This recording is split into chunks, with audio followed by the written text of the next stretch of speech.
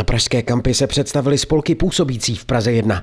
V rámci pátého ročníku spolkového dne se představili aktivní združení a volnočasová uskupení, která zpestřují život v centru města. A že jich není málo, městská část v současnosti eviduje na 74 zaregistrovaných spolků. Jsou registrovány anebo působí výrazně na území městské části.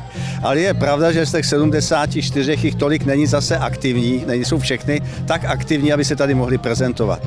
To znamená, tady se prezentují spolky, které opravdu žijou a vytvářejí ty komunitní prostředí tady na průzemí Prahy 1. Návštěvníci se mohli s činnostmi jednotlivých spolků a organizací seznámit na jednotlivých stanovištích, která nabídla i různé kreativní činnosti a soutěže. Své aktivity představilo také Združení výtvarníků Karlova mostu, které spravuje kulturní život na této památce už 26 let. Naše aktivity je to vlastně zachování tradiční přítomnosti jak výtvarníků, tak i dalších kumčtýřů, jako jsou hudebníci a další veřejné produkce.